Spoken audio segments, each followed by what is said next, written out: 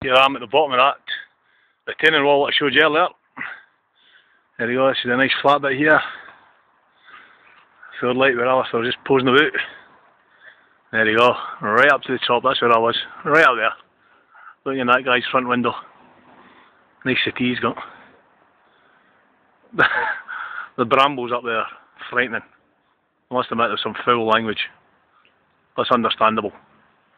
Hey Alistair, you talk me through that. What's that? Many words up there.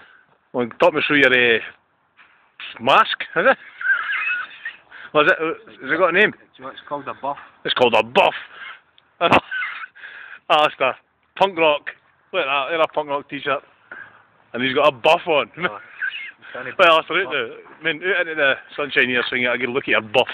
See, like, keeps you warm in the winter. That's cool as fuck. Well, that's cool, that's right. Or it can double up with a, a bandana. Oh, it can, look, here we go. Oh, look, it's Axl Yeah. rose. Look. You just turned into Axl Rose. How do you manage that? See that?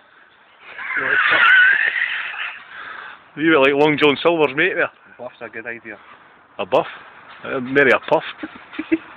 What- What's he got to do now? Man. Turn into Ena Sharples.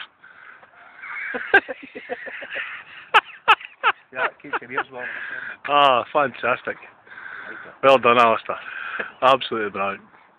Right, let's. You can use it as a, a wristband. You can use it as a wristband. Something. Can use it as a hanky. I need to blow my nose here. Ah, you can use it in the hand. Everything you. Can use it as a pair of Y fronts. Ah, you can put it on your legs and that. You've got a few good uses. Ah dear, can you strangle yourself with it? Worth the 15 quid. 15 quid. Okay if I use it to strangle you. ninja training, look at it. Oh, it looks a wee bit like a ninja now, now we're tongue. Yeah, See, that's different. ready for action, eh, there, man. Ninja headband. Right, ninja. Let's climb up those walls. Oh no, I've already done that. Back to work.